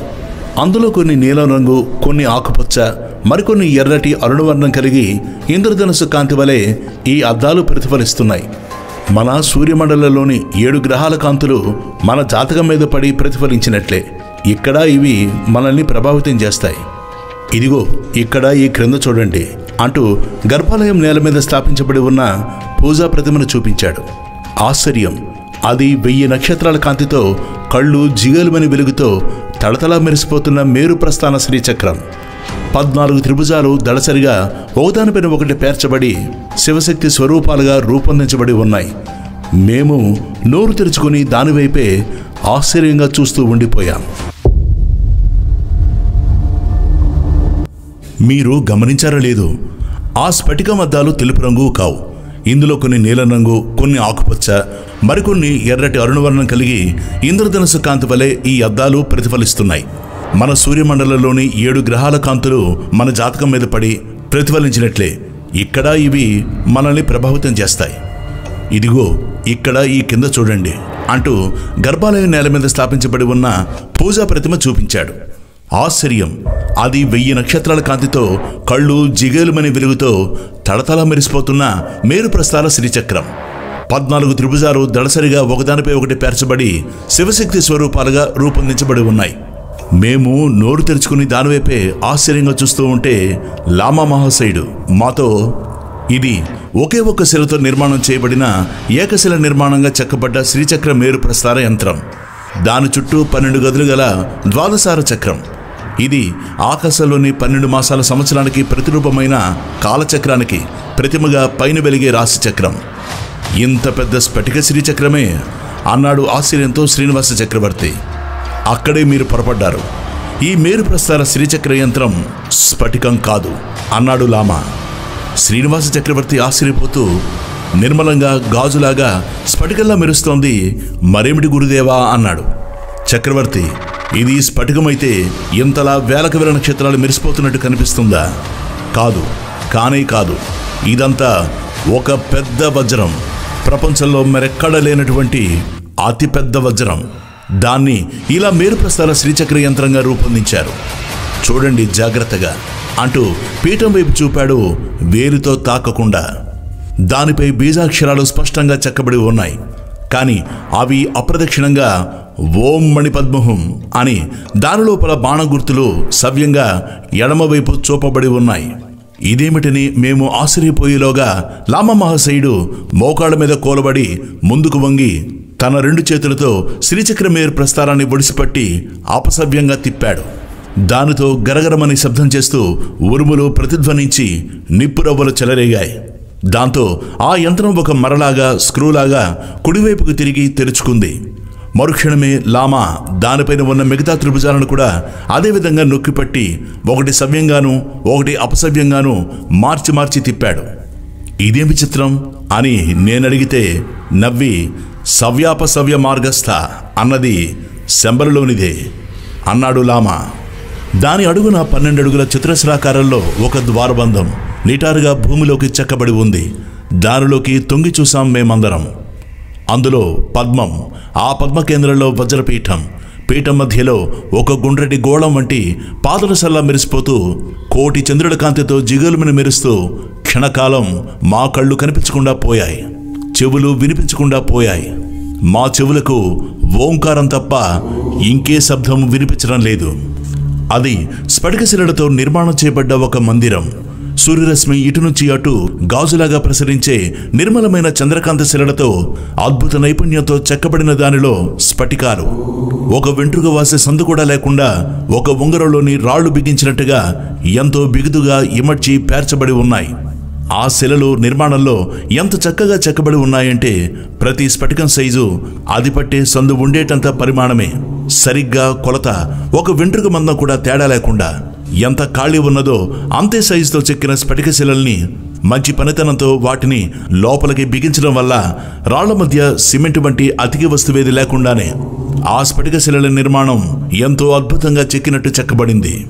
అంతెందుకు? ఎవరైనా సరే హఠాత్తుగా ఆ స్ఫటికశిల మందిరాన్ని చూస్తే అదంతా ఏకస్ఫటికంతో చెక్కబడినట్టుగా ఒక సిరిచక్రమాకారంలో అది కనిపిస్తుంది. కోటి నక్షత్రాల కాంతిని విరజుంబుతూ ఆ మందిరం నిర్మాణం రెండు అరలుగా నిర్మించబడి ఉంది. బయట ఉన్న అరలో త్రిభుజాకారంగా నిలబడి ఉన్న ఈజిప్ట్ పిరమిడ్ వంటి శిఖరం కలిగిన లోపల హాలు వలె నిటారుగా ఉన్న త్రిభుజంలోకి దిగుడు బావిలాగా మెట్లు మెట్లుగా కిందకు దిగుతూ పోయి ఒక ఆలయంలోని కోనేరు మెట్లు చెక్కినట్లు మెట్లు మెట్లుగా అలా కిందకు దిగుతూ వెడతాయి. త్రిభుజం యొక్క అడుగు కోణం సూది వలె తల్లకిందులుగా బోర్లించిన త్రిభుజాకారంలో ఉంది. ఆ అట్టడుగు ముక్కోణం నుంచి ఒక ద్వారం ఉత్తరంగా తెరుచుకుంటోంది. ఆశ్చర్యపోతూ ఆ ద్వారం సమీపించగానే ఉత్తర దిక్కు నుండి సన్నటి వెలుతురు సూదివలే ఒక కాంతికిరణాల లోపలికి ప్రకాశిస్తోంది. దాని వెలుగుతో మందిరంలోని ఆ స్ఫటిక ఫలకం జిగేలుమని మెరిసింది. ఆ తర్వాత తెలిసింది అది ఉత్తర దిక్కు ధ్రువ నక్షత్రం నుండి లోపలికి ప్రసరించే కాంతి కిరణమని సూదిబెజ్జం వంటి ఆ సందులోంచి సరిగ్గా ధ్రువుడు మాత్రమే ప్రకాశించేటంత రంధ్రం ఏర్పడి ఉంది. ఆశ్చర్యంగా ఆ ధ్రువ నక్షత్రపు కాంతికిరణం వెలుగుతున్న దిక్కుగా నడిచి చూస్తే అది ఏటవాలుగా కిందకు ఇరవై మూడు డిగ్రీల కోణంలో వెలుగు ప్రకాశిస్తూ నేలకు తాకుతోంది. ఆశ్చర్యం! ఆ కోణం సరిగ్గా మన భూమి యొక్క ఉత్తర ధ్రువం ఎంత పక్కకు బొంగి ఉంటుందో అంతే కోణం సరిపోయేలాగా ఇరవై మూడు డిగ్రీల పైచిలకు వంపు తిరిగి ఉంది. ఆశ్చర్యపోతూ ఆ కాంతి నేలపై స్ఫటిక ఫలకం మీద పడ్డ చోట కుతూహలం కొద్దీ ముట్టుకుని తాకి చూశాను. అంతే వెంటనే ఓ ఉరుములాంటి పెద్ద శబ్దం వినబడి ఒక పంజరంలోకి తెరుచుకునే స్ప్రింగు మూత వలె స్ఫటిక కూడా పక్కకు తిరిగి తెరుచుకుంది. ఒక్కసారిగా నా ఊపిరి ఆగిపోయేంత పనైంది. ఆశ్చర్యంతోనూ సంతోషంతోనూ ఒకరి మొహాలు ఒకరు చూసుకున్నాం. చివరకు రష్యన్ పరిశోధకుడైన నికోలాస్ రోరిక్స్ తెగించి ఆ తెరుచుకున్న ద్వారం నుంచి ముందుకెళ్ళాడు. అంతే రెండడుగులు వేశాడలేదో అతడు లోపలికి ప్రవేశించిన ద్వారబంధం నుంచి ఎదురుగా నేల మెరకుగా గోడవలే పైకి లేచింది. సరిగ్గా అంతే కోణంలో ఇరవై మూడు డిగ్రీల వంపుతో ఒక జారుడు బలలాగా దాని మీద జారిపోకుండా జాగ్రత్తగా నడుస్తూ పైకి పైకి పెడితే రెండవ అంతస్తులోని స్ఫటిక మందిరంలోని వరండాలోకి చేరుకున్నాం. అది నలు చదరంగా దేవాలయంలోని కోనేరు మెట్ల వలె ప్రదక్షిణంగా ఉన్న పైగొట్టు మీదకు తీసుకువెళ్ళింది. అక్కడ నుంచి త్రిభుజాకారంగా కిందకు పోయే ముక్కుడు బహారులోకి దిగుడు బావిలా కిందకు పోతూ మెట్లు కనిపించాయి. ఈ స్ఫటిక పర్వతం ఉల్లిపాయ పొరల్లాగే ఉన్నదే. ఒక వరండా నిలబడిన త్రిభుజాకారంలో ఉంటే దాని బయట ఉన్న వరండా తలకిందులుగా ఉన్న త్రిభుజంలా ఉంది. మళ్ళీ దాని బయట ఉన్న వరండా నిలబడి ఉన్న త్రిభుజంలా ఉంది. అలా మెట్లు మెట్లుగా చివరకు ఈ స్ఫటిక మందిరంలో మేమందరం దారి తప్పిపోయామేమో. ఇక్కడికిక్కడే తిరుగుతూ జంతర్మంతర్లోని చిక్కు వరండాల వలయంలోకి వెళ్ళి ఇక్కడే ఇరుక్కుని చస్తామేమో అన్న భయం కూడా పట్టుకుంది మాలో కొందరికి. ఇంతలో చార్లెస్ బెల్ మోకాల మీద వంగి నమస్కరించాడు స్ఫటిక మందిరంలోని ఆఖరి ద్వారంకు. ఇది ప్రపంచంలో అన్ని దేవాలయాల్లోకి ఈజిప్ట్లోని పిరమిడ్ల వంటి త్రికోణాకారంలోని మందిరాలకు అన్నిటికీ మూలమైన ప్లాన్. అదే హిందువులు గీతల గీతలుగా రాసి శ్రీచక్రం అని పిలుస్తారే సరిగ్గా దాని గర్భాలయంలోకి తీసుకువెళ్ళే ముఖద్వారాన్ని మనం సమీపిస్తున్నాం. అక్కడి శక్తి తరంగాలు కరెంటు కాంతి నా మెదడులోని విద్యుత్ శక్తినంతా గుంజి జివ్వున ఓ సుడిగుండంలా తిప్పిలాగేస్తున్నాయి ఓ కేంద్ర బిందువులోకి. ఆహా ఎవరు నిర్మించారో కదా ఈ స్ఫటిక మందిరాన్ని. ప్రపంచంలోని నిగూఢ రహస్యాలని కలబోసి ఒక్కచోట నిక్షిప్తం చేసి మంత్రశక్తి తాంత్రికం అంకెలు అక్షరాలు సరిపోయే సంఖ్యాశాస్త్రానికి మాతృకైన విద్య ఇది ఇవన్నీ కలిపి ఒక ఆకారంలో మూర్తి కట్టి నిర్మించారు. ఇది మన విశ్వానికే మూలమైన ప్లాన్. సృష్టి రహస్యాలన్నీ ఇందులో అమర్చిన సైన్స్ ఫార్ములా వంటిది. శ్రీయంత్ర నగరం అంటూ వంగి వంగి తన నుదురు నేలకు తాకించి మూడుసార్లు ప్రమాణం చేసినట్లు వంగి లేచి నిలబడ్డాడు చార్లెస్ బెల్. మళ్ళీ ఉరుములాంటి శబ్దంతో ఒక తలుపు తెరుచుకుంది. అక్కడ నుంచి నిటారుగా పైకి నిచ్చిన వలె ఏటవాలుగా మెట్లు మెట్లుగా స్ఫటిక ఫలకాలు పేర్చి ఉన్నాయి ఆ మెట్లు కూడా ఎలా ఉన్నాయంటే ప్రతి మెట్టు ఎక్కుతుంటే దానిపై మెట్టు వెడల్పు తక్కువ ఉండి అలా చివరిదాకా కోసుగా త్రికోణాకారంలో పైకి చేసిన నిచ్చెనలాగా ఆ మెట్లు కట్టబడి ఉన్నాయి. ఆ పిరమిడ్ వంటి భవనానికి చివర శిరస్థానంలో పైన ఓ నలుపలకల రంధ్రం ఉంది. సరిగ్గా మనిషి మాత్రమే దూరగలిగే సందు. అందులోంచి ఒక మనిషి మాత్రమే పైకి ఎక్కి వెళ్ళగలడు. అలా ఎక్కి పైకి తలదూర్చి తొంగి చూశాడు. మానవుడి కళ్ళు మిరుమిట్లు గొలిపే తెల్లటి కాంతి. ఆ పిరమిడ్ శిఖరం మీద కరిగిన వెండితో చేసిన దూది పింజల్లా ఉంది జిగేల్మని మెరిసిన ఆ వెలుతురు పుంజం. దాన్ని తట్టుకోలేక కళ్ళు తిరిగినట్లయి క్షణకాలం స్ఫటిక మందిరం గోడ పట్టుకుని పడిపోకుండా నిలబడవలసి వచ్చింది చార్లెస్ బెల్ అంతటి వాడికి కూడా. చుట్టూరా ప్రదక్షిణగా ఉన్న నలుపలకల వరండా. పైకి పోయిన కొద్దీ కోసుగా కోణంతో ఓ త్రిభుజంలా కట్టిన గాజు పలకల వంటి ఆ స్ఫటిక వందల శిఖరం కళ్ళ ముందు గిర్రున తిరిగిపోసాగింది. ఇంద్రధనుస్సులోని ఏడు రంగుల కాంతులు చిమ్మే వెయ్యి సూర్యుల కిరణాల నుంచి భూమి ఆకాశము కలిసే రేఖ చుట్టూరా వెలుగుతూ కుమ్మరిసారిలా తిరిగిపోతున్న కాంతి చక్రం. అది చూడగానే తడుక్కున మెరిసింది ఒక ఆలోచన. నాది కాని ఆలోచన. రాశిచక్రం తిరిగిపోతున్నది అని. ఇంతలో స్పృహ తప్పిపోయాను. ఏం జరుగుతుందో కూడా నాకు ఏమీ తెలియలేదు. అంతా మైకం. శూన్యంలో కరిగిపోయింది నేను అన్న భావం కూడా. ఆ వజ్రంలో చెక్కిన శ్రీచక్ర మేరు ప్రస్థానం ఒక మరలాగా గుండ్రంగా తిప్పి మూతల తీయగానే వెలువడిన ఆ భూపురంలో అంటే భూమికి ఉన్న కేంద్రం వంటి పురంలో ఒక గోళాకారంగా పెద్ద పంపరపనస కాయ సైజులో ఉన్నది కోటి సూర్యుల కాంతి లక్ష చంద్రుల కాంతి కలిసి వేల కిరణాలతో తేజస్సు విరజమ్ముతూ. అదే చింతామణి. ప్రపంచ ప్రఖ్యాతి పొందిన దివ్య ప్రభావం గల మణి శంబల ప్రభువు దగ్గర ఉంటుందని అపూర్వమైన మహిమల వర్ణనతో పురాణాలలో గుర్తుగా చెప్పబడ్డ దివ్యమణి దానిని చూడడం అనేది ఏ కోటి జన్మల పుణ్యఫలితమో. అది రసలింగం. అనగా గడ్డకట్టినట్లు ఘనీభవించిన పాదరసాన్ని బంధించి చేసినట్టు పాదరస బంధంతో సప్త ధాతువులు కలిపి తయారు కాబడ్డ ఓ సజీవమైన సాలగ్రామం వంటి మణి. దానికి ఒక పక్క అర్ధచంద్రాకారంలో ముఖం. అంటే రెండు పెదవులు తెరిచినట్లు సన్నటి ద్వారం ఉంది. ప్రతినిత్యం ఐదు సేల పాలు దానికి అభిషేకించాలి. తేనె పచ్చకర్పూరం కుంకుమ పువ్వు యాలకల వంటి దివ్య పూజా వస్తువులతో కలిపి టెంకాయ నీటిని తేనెను కలిపి అభిషేక మంత్రాలతో అభిషేకిస్తారు. శివ విష్ణు శక్తి వేద మంత్రాలతో సుదర్శన మంత్రం సంపుటి చేసి సుదర్శన చక్రార్చన ఆవరణ పూజలతో శ్రీచక్రార్చన చేసి పూర్తి చేశారు పురుష సూక్తం శ్రీ సూక్తం మొదలైన సస్వరమైన వేద మంత్రాలతో. అప్పుడు జరిగింది ఓ అద్భుతమైన ఆశ్చర్యం. అకస్మాత్తుగా బంగారు పాత్రలో అభిషేకించిన పాలామృతం బుడబుడమని ఆవు తాగి గుటకలు వేస్తున్న శబ్దం కలిగి ఆ పాలన్ని చింతామణి తాగేసింది. అంటే లోనికి పీల్చుకుంది. అలా ఒక ముహూర్త కాలం గడిచాక పూజా మందిరంలో మంగళహారతి పుష్పాంజలి ఇచ్చిన తర్వాత గలగలమని పెద్ద శబ్దంతో ఒక జలపాతంలా అభిషేకలు తాగిన పాలన్ని బయటకు ధారాపాతంగా కక్కి దారపోసింది. అలా మళ్ళీ బయటికి చింతామణి తాగి ఇచ్చిన ప్రసాదమే అక్కడి లామాలకు పవిత్ర తీర్థం. శరీరంలో ధాతువుల లోపాలు దోషాలు పోగొట్టే పుణ్యతీర్థం. ఈ చింతామణి సజీవమైన శిల. అంటే ప్రాణం కలిగిన సాలగ్రామం వలె తనంతట తాను గిర్రున ప్రదక్షిణంగా భూగోళం వలె తిరుగుతుంది. అప్పుడు ప్రపంచానికి రానున్న కాలంలో శుభములే కలుగుతాయి. యజ్ఞయాగాది కర్మలు అనేక చోట్ల వెల్లువిరుస్తాయి. విరుస్తాయి వేదములకు బ్రాహ్మణులకు గోవులకు తపస్సు చేసేవారికి సిద్ధగురువులకు మేలు జరుగుతుంది.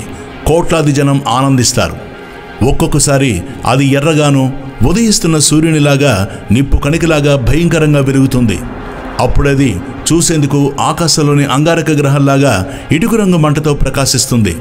అప్పుడు ప్రపంచంలో యుద్ధాలు చెలరేగి బాంబుల వర్షం కురిసి రాజులు నశిస్తారు. కోట్లాది మంది సైనికులు హతమవుతారు. వర్షాలు లేకుండా పోతాయి. కరువు కాటకాలతో ప్రజలు అలమటిస్తారు. మరొకప్పుడు అది నీలంగా మెరుస్తూ శుక్రగ్రహాల్లా ప్రకాశిస్తుంది. అప్పుడు గొప్ప గొప్ప కళాకారులు జన్మిస్తారు. కాళిదాస మహాకవి భవభూతి ఇంగ్లీష్ వాడు షేక్స్పియర్ ఇంకా ఇతర భాషల్లో మహాకవులు వంటి వారు ఆధ్యాత్మిక దృష్టి కలవారు ఎందరో జన్మిస్తారు. ఇంకోసారి అది ఆకుపచ్చ రంగులో మరకత పచ్చలాగా ప్రకాశిస్తుంది బుధగ్రహం వలె. అప్పుడు ప్రపంచంలో పంటలు ఫలపుష్పాలు సమృద్ధిగా ఫలించి చెట్లు ఆకులు తోటలు వ్యవసాయం తామరతంపగా ఫలితాన్నిస్తుంది అదే చింతామణి ఇంకొకసారి తెల్లగా పూర్ణిమ చంద్రుడి వలె వెలుగుతుంది. తలతలా మెరిసే చింతామణి అలా చంద్రకాంతితో వెలిగినప్పుడు అదో పెద్ద ముత్యంలాగా వెలిగిపోతుంది కోటి చంద్రుల కాంతితో. అప్పుడు ప్రపంచంలో ఆవులు దూడలు వృద్ధి పొంది సమృద్ధిగా పాలిస్తాయి. పాడి పంటలు వృద్ధి కావడం జరుగుతుంది. బియ్యము బార్లీ వంటి తెల్ల ధాన్యాలు సమృద్ధిగా పండుతాయి. బ్రాహ్మణులకు పురోహితులకు మంత్రశాస్త్రవేత్తలకు యజ్ఞయాగాలు చేసేవారికి గొప్ప మేలు జరుగుతుంది. ఒక్కోసారి అది లేత పసుపు కలిగిన ముత్యంలాగా ప్రకాశిస్తే అప్పుడు యోగులు మహాత్ములు సిద్ధగురువులు జన్మిస్తారు. ఇంకోసారి నల్లగా తడతలా మెరిస్తే నల్లని చలువురాయిలాగా వెలిగితే ప్రపంచంలో భయంకర వ్యాధులు ప్లేగు మారి మసూచి వంటి వ్యాధులు ప్రజ్వలించి ప్రపంచంలోని జనాభాను లక్షల్లో పొట్టను పెట్టుకుంటాయి. జనక్షయమవుతుంది. కరువు కాటకాలతో ప్రజలు తిండి లేక అల్లాడతారు. వర్షాలు కురవక కాలమేఘాలు కూడా దూది పింజల్లా ఎగిరిపోతాయి. ఇలా ఇది రాబోయే ప్రపంచ భవిష్యత్తును ముందుగానే సూచిస్తుంది. అందుకని దానికి కాలగర్భ చింతామణి అని పేరు. శంబల ప్రభువు దానికి తాంత్రిక ప్రయోగశాస్త్ర ప్రక్రియలో కాలచక్ర తంత్రంలోని పూజా విధానంతో తన దివ్యశక్తిని భగవద్భక్తిని ధారపోస్తారు. అప్పుడు ప్రపంచం దైవికమైన శక్తితో నిండిపోతుంది. ఆయన తన శరీరంలోని కాలచక్రం యొక్క తిరగడాన్ని నక్షత్రమాస ఆయన ఋతు సంవత్సరాల విభాగంలో నాలుగు యుగాల చతుర్యుగ చక్రం ద్వారా సమస్త కాల విభాగాన్ని ఒక దివ్య దృష్టితో దర్శింపజేస్తుంది. అప్పుడే శంబల ప్రభువు అవతరించే సందర్భం వారికి తెలుస్తుంది. అవతారమూర్తి గురించిన వివరాలు తెలుస్తాయి. అంటూ లామాదోర్జీ మహాశయుడు మా సాహస బృందాన్ని ఆ వజ్రమందిరం నుంచి బయటికి నడిపించుకు వచ్చి బయట మంచు మైదానాల్లో బంగారపు పొడిలాగా మెరిసే మంచు మీద వెచ్చగా కాస్తున్న ఎండలో ప్రసాదాలు తినిపిస్తూ వివరించారు. చింతామణి అభిషేక తీర్థం కూడా మాకు తలో చుక్క చేతిలో పోశారు. అమృతంలాగా అద్భుతమైన రుచి. అది తాగగానే తలలు గిర్రును తిరిగి కాలచక్రమంతా మా తలలోనే తిరుగుతున్న భ్రాంతి కలిగి గతించిన ప్రపంచపు చరిత్ర అంతా అతివేగంతో సంగ్రహంగా తిరిగి తెలిసింది. ఈ చింతామణి ఒక్క శంబల ప్రభువు దగ్గరే ఉన్న ఈ స్ఫటిక మందిరంలోని ధ్యాన మందిరంలో మీరు ఎక్కువచ్చిన పగడాల మండపంలోని వజ్రపు శ్రీచక్రంలోనే ఉండదు ఎల్లకాలం.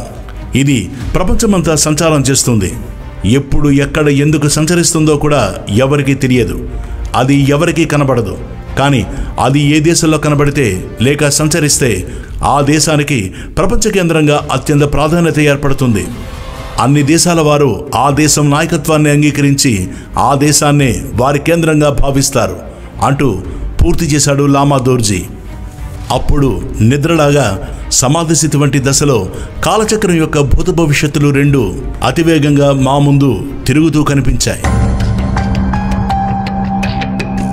కాలచక్ర తంత్రం అంటే ఏమిటి గురుదేవా? దీనికి దలైలామాకు ఉన్న సంబంధం ఏంటి? అంటూ ప్రశ్నించాడు నికోలాస్ రోరిక్స్ చిత్రకారుడు.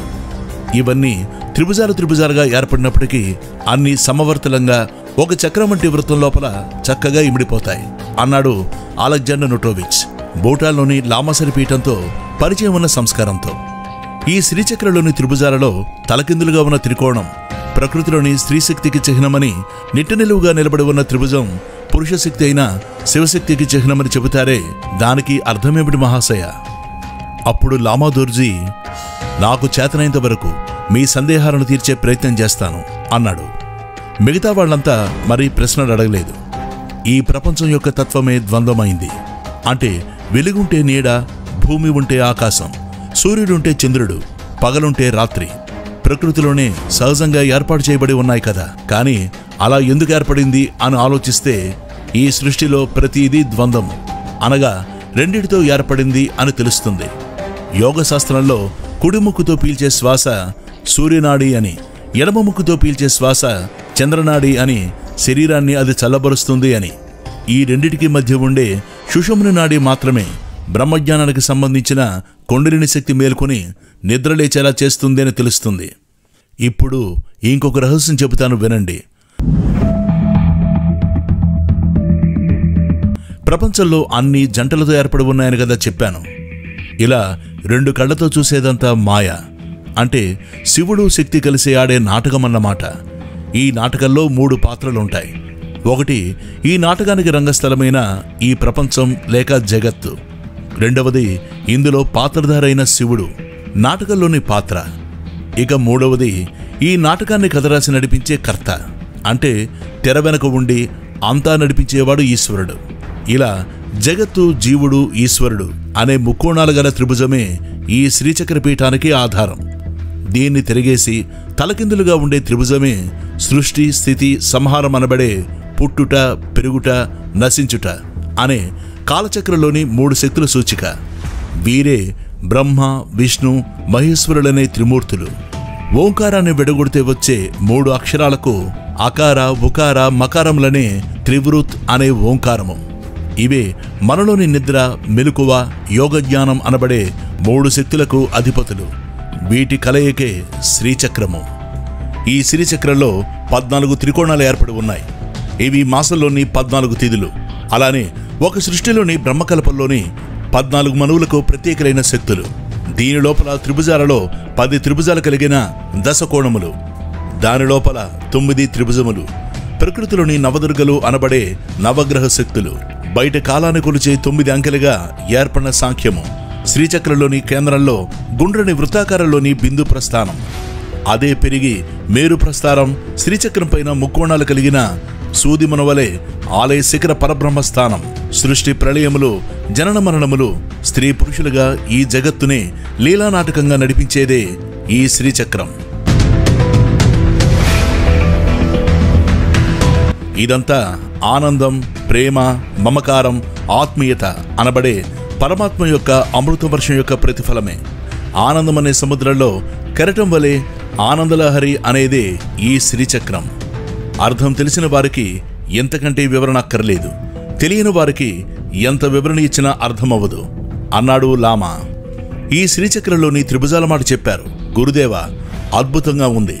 దీని చుట్టూ ఏర్పడి ఉన్న తామర రేకులు వంటి పద్మాలు దాని చుట్టూరా ఉన్న దళాల గురించి చెప్పండి అన్నాడు చక్రవర్తి. ఏమున్నది? ఈ త్రిభుజాలకి బయట తామర పువ్వు బొడ్డులాగా గుండ్రని వృత్తం పీఠంలా ఉన్నది.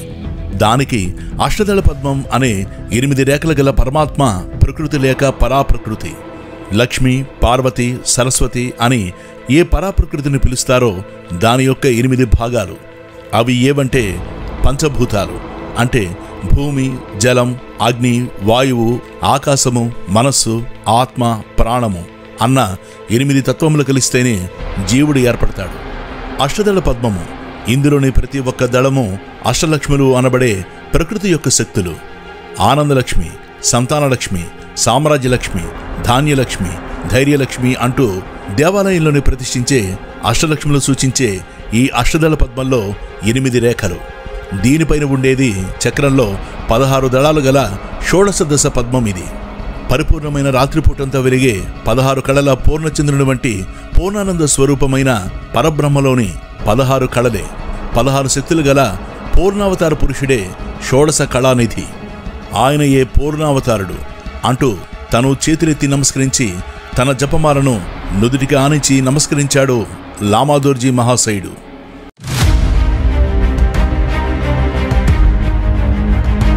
గురుదేవా ఎందుకు ఇలా శంబల గురించి శంబలకు పోయే రహస్య మార్గం గురించి ఇంత రహస్యంగా దాచి ఉంచారు? అలా రహస్యంగా ఉంచాల్సిన అవసరం ఏమిటి శతాబ్దాల తరబడి ఈ శంబల సంకేతాన్ని నిగూఢమైన ఆధ్యాత్మిక రహస్యాలుగా దాచి ఉంచడానికి కారణమేమిటి? అన్నాడు శ్రీనివాస చక్రవర్తి. శంబలకు పోయే మార్గం గురించిన అన్వేషణకు చాలా లోతైన సంబంధం ఉంది. అందుకే కేవలం పర్వతాలెక్కే విదేశీ యాత్రికులకు ఏవేవో సాహస కార్యాలు చేసేద్దామని యవనోద్రేకపు ఉడుకురక్తంలో గల యువకులకు ఈ శంబలకు మార్గం గురించిన ఆసక్తి ఉంది. అలాంటి వారు ఏ ఆల్ఫ పర్వతాల్లో లేక ఉత్తర ధ్రువంలోని మంచుకొండలకో అది కాకపోతే చీకటి ఖండం అనబడే ఆఫ్రికాలో కిలిమంజారో పర్వతాన్ని ఎక్కడానికో సాహసయాత్రలు చేస్తారు. కానీ శంబల గురించి వీరికి తెలియదు. ఇది చాలా రహస్యంగా ఉంచబడి ఉంది. కొన్ని శతాబ్దాల నుంచి ఇది నిగూఢమైన ఆధ్యాత్మిక రహస్యం. శంబల గురించిన వృత్తాంతం రహస్యంగా ఉంచడంలో ముఖ్య కారణం కూడా ఉంది. శంబల యొక్క రహస్యం ఈ కలియుగం యొక్క అంతంతో సంబంధించి ఉంటుంది. ఇప్పుడు ప్రపంచంలో జరుగుతున్న కలియుగం ఆరంభమైంది. అప్పటి అవతారమూర్తి శ్రీకృష్ణుని నిర్యాణం సమయంలో ఆయన తిరిగి అవతరించేది మళ్ళీ కలియుగాంతంలోనే. కలియుగాంతంలో వచ్చే అవతారమూర్తితో సంబంధించి ఉన్నందున ఈ శంబల వృత్తాంతం రహస్యంగా ఉంచబడింది. ఎందుకంటే కలియుగంలో అనేక మంది క్రూరులు దుర్మార్గులు స్వార్థపరులు అధికార దాహం ధనదాహం కామదాహం రక్తపిచ్చితో రక్తపాతాలు చేసే దుర్మార్గులు పుట్టే కాలం గనక వారికి శంబల గురించి తెలిస్తే భవిష్యత్తులో అనవసరమైన ప్రమాదాలు ఇబ్బందులు కలిగే అవకాశం ఉంది. ఎవరు పుణ్యాత్ములో మన సొంత బుద్ధితో తెలియడం కష్టం. కాబట్టి ప్రతివాడు తనను తాను చాలా పుణ్యాత్మునిగాను ధర్మాత్మునిగాను భావిస్తాడు. అలాంటి వారికి శంబల గురించి చెప్పడం అంటే ప్రపంచంలో ఎంతో నరరూపరాక్షసుడైన క్రూరుడికి ఆటంబాంబుకు మించిన విధ్వంస శక్తిని చేతికిచ్చినట్టే కదా. అందుకని ఈ శంబల గురించిన భవిష్యాలు అవతారమూర్తి జన్మించే పుణ్యభూమి యొక్క వింతలు విశేషాలు ఎవరికి చూసినా అర్థం కాకుండా గుప్తంగా ఉంచారు. అంతేగాక సరైన కాలం వచ్చినప్పుడు తెలియవలసిన దేవరహస్యాలు సరిగ్గా ఆ సమయంలోనే తెలియాలి. అహంకారం కలియుగంలో పుట్టిన పెద్ద విషయం ఇది హృదయాన్ని చేదుగా విషమయం చేస్తుంది. ప్రేమతో నిండి మధురంగా ఉండాల్సిన మన హృదయాన్ని విషపూరితం చేసి ద్వేషంతో నింపేస్తుంది. ఈ పని ప్రత్యేకించి కలియుగం చివరలో అవతారమూర్తి కంటే ముందుగా జన్మించే సైతాను చేపట్టే దుర్మార్గపు కార్యక్రమాల్లో ముఖ్యమైంది. శంబల రహస్యాలు వీడికి అందకుండా ఉండేందుకే మహాత్ములు యోగులు దేవరహస్యాలను ముఖ్యంగా శంబల వెళ్ళే మార్గాన్ని అది ఎక్కడ ఉందో భౌతికంగా కనుగొనే గుర్తులను చెరిపివేశారు. అంటే కనపడకుండా కాలంతోనూ మాయతోనూ కప్పేశారు అని అంటూ యోగి లామా తన కమండలపు జపమాల తాటియాకుల గ్రంథాలు కట్టగట్టుకుని వడివడిగా నడుస్తూ వెళ్ళిపోయాడు. ఆయన ఎక్కడికి దారి తీస్తున్నాడో తెలియక మేం కూడా ఆయన అనుసరించాం. స్ఫటిక పర్వతం వెనుక వైపుకు వెళ్ళిన లామా అక్కడ తెరుచుకున్న పెద్ద ద్వారం దగ్గర ఆగిపోయాడు. మేము అక్కడికి వెళ్ళి ఆయన సమీపించగానే ఆయన తనలో తాను అంతర్ముఖుడై మీకు ఇంతవరకే ప్రవేశం ఉంది.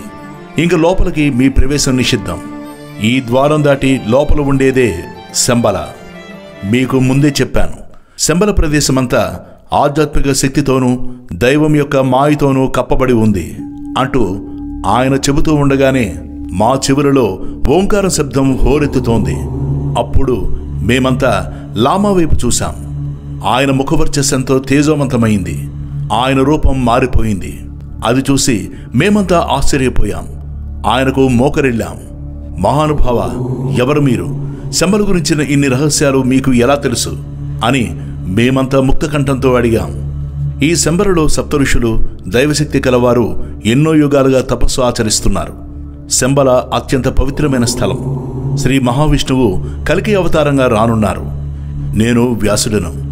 మీకు ఈ శంబల విషయంలో ఇన్ని రహస్యాలు ఎందుకు తెలియజేశానంటే మీలో శంబల చేరాలన్న దృఢ సంకల్పం కార్యదక్షత మీలో ఉన్న ఆధ్యాత్మికత కారణాలు. మీరు తిరిగి వెళ్ళి ప్రజలలో ఆధ్యాత్మిక భావాలు పెంపొందించి ధ్యానం మీద దృష్టి మళ్ళించి ప్రజలు ధర్మ మార్గంలో నడిచేలా మీ వంతు కృషి మీరు చెయ్యండి. శ్రీ మహావిష్ణువు మీపై తన దయాకిరణాలను వర్షించుగాక మీ మనస్సు హృదయాలు నిర్మలంగా ప్రకాశించాలిగాక మీ బుద్ధి స్వార్థం వైపు అహంకారం వైపు పరుగులు పెట్టకుండా శంబల ప్రభువు కాపాడాలి అంటూ ఆశీర్వదించి చూస్తూ ఉండగానే ద్వారంతో సహా వ్యాసుల వారు అంతర్ధానమయ్యారు.